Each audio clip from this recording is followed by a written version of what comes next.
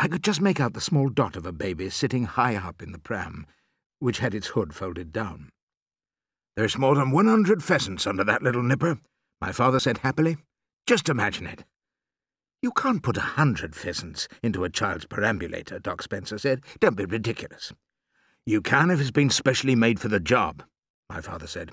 This one is built extra long and extra wide, and it's got an extra deep well underneath. Listen, you could push a cow around in there if you wanted to, let alone a hundred pheasants and a baby. Did you make it yourself, Dad? More or less, Danny. You remember when I walked you to school and then went off to buy the raisins? The day before yesterday, I said. Yes. And after that, I went straight on to the vicarage and converted their pram into this. Special extra large poacher's model. It's a beauty, really it is. Where does the baby sit? the doctor asked. On top, of course, my father said. All you need is a sheet to cover them, and the baby sits on the sheet. A bunch of pheasants makes a nice soft mattress for any child. We stood beside the pumps, waiting for Mrs. Clipstone to arrive. It was the first of October, and one of those warm, windless autumn mornings with a darkening sky and a smell of thunder in the air.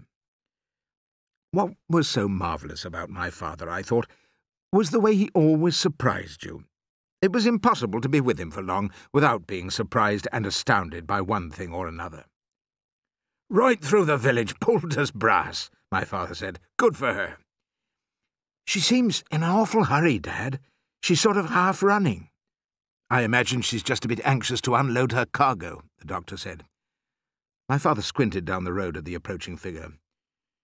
She does appear to be going a bit quick, doesn't she? he said carefully. She's going very quick, I said. There was a pause. My father was beginning to stare hard at the lady in the distance. She's running! Doc Spencer cried. Look! It was true. Mrs. Clipstone had suddenly broken into a full sprint. My father stood very still, staring at her. And in the silence that followed, I fancied I could hear a baby screaming. What's up, Dad? He didn't reply. There's something wrong with that baby, Doc Spencer said. Listen. At this point, Mrs. Clipstone was about 200 yards away from us, but closing fast. Can you hear him now, Dad? Yes, I can hear him. He's yelling his head off, Doc Spencer said. He's having a fit, my father said. Doc Spencer didn't say anything. If it isn't a fit, my father said, you can bet your life it's something like it. I doubt it's a fit, the doctor said. Whatever it is, my father said, I wish to heaven she'd stop running. It'll give the game away. A long lorry loaded with bricks came up behind the pram, and the driver slowed down and poked his head out of the window to stare. Mrs. Clipstone ignored him and flew on. She was so close now I could see her big red face with the mouth wide open, panting for breath. I noticed she was wearing white gloves on her hands, very prim and dainty, and there was a funny little white hat to match, perched right on the top of her head like a mushroom. Suddenly, out of the pram, straight up into the air, flew an enormous pheasant. My father let out a cry of horror. The fool in the lorry began roaring with laughter.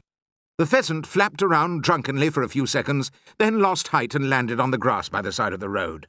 Crikey, Doc Spencer said. Look at that. A grocer's van came up behind the lorry and began hooting to get by. Mrs. Clipstone kept on running. Then, whoosh, a second pheasant flew up out of the pram. Then a third, and a fourth. Great Scott, Doc Spencer said. I know what's happened. It's the sleeping pills they're wearing off. My father didn't say a word. Mrs. Clipstone covered the last fifty yards at a tremendous pace. She came swinging into the filling station with birds flying out of the pram in all directions.